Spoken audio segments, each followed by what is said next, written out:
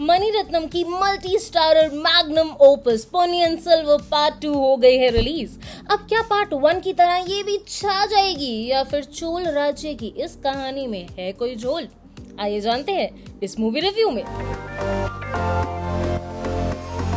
Hello hi सत मैं हूँ नेहा वशिष्ठ, जो ई टाइम्स पर एक बार फिर लेकर आई हूँ एक नया मूवी रिव्यू इस हफ़्ते की बड़ी रिलीज़ है the multilingual pan India Ponniyin Selvan part two ये कहानी है षडयंत्र की, ये कहानी है अधूरे प्यार की, ये कहानी है विश्वासघात की। चोल राज्य के युवराज और सम्राट को मारने की साजिश की कहानी है पीएस टू।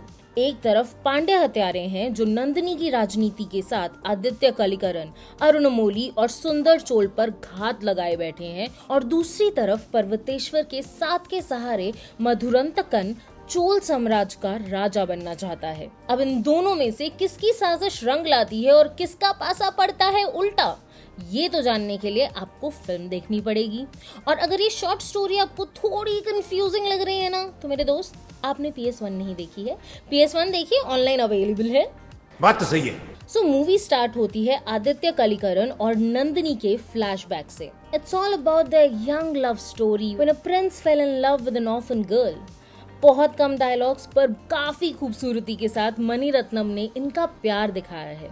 और उसी खूबसूरती से वो दर्द भी दिखाया है जब नंदनी और आदित्य को अलग कर दिया गया। ना तो नंदनी आदित्य को माफ़ कर पाए और ना आदित्य खुद को। इनफैक्ट क्लाइमेक्स तक भी जहाँ पर ये इस्टेब्लिश हो चुका था कि ये दोनों एक दूसरे से नफरत करते हैं, उनका प्यार बीच में आ गया। एक तरफ़, जहाँ of course Mani Ratnam's direction has done wonders we can't ignore the exemplary work done by Aishwarya Rai Bachchan and Vikram and it's not just about the chemistry दोनों ने इंडिविजुअली भी अपने कैरेक्टर्स की आर्च दिखाई है और वो काबिल तारीफ़ है।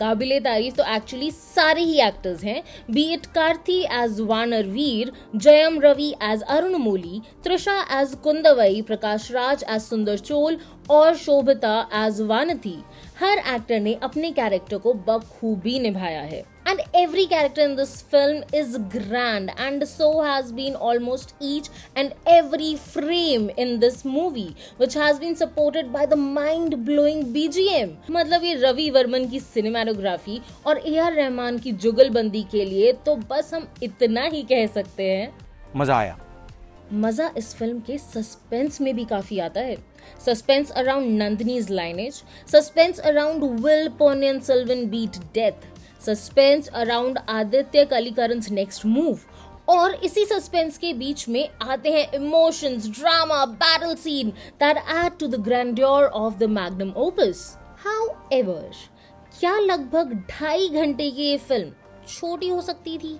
yes. क्या क्लाइमैक्स ओवरवेलमिंग लगता है yes. क्या एंड थोड़ा ज़्यादा मेलोड्रामेटिक है yes. but that's how it is in the novel as well So we can blame the makers for this, I guess. And on this note मैं नेहा वशिष लेती हूँ आपसे इजाज़त। मिलती हूँ अगले हफ़्ते एक नए मूवी रिव्यू के साथ। एंड तब तक के लिए ई टाइम्स को सब्सक्राइब करना ना भूलें।